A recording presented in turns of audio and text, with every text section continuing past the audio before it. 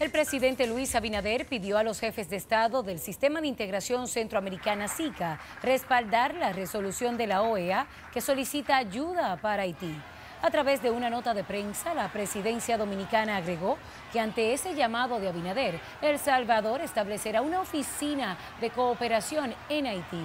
El mandatario dominicano describió la crisis como una tragedia diaria que debe ser atendida de inmediato por la comunidad internacional.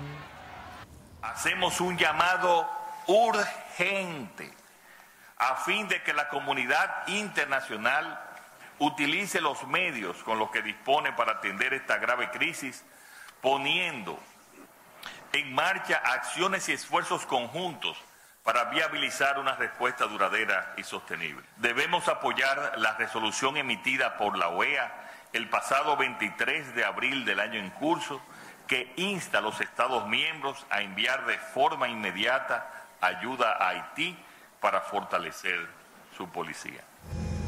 Al participar en la reunión del SICA en Belice, el estadista dominicano también invitó a sus colegas a unirse para enfrentar los problemas que ocasionan los sargazos.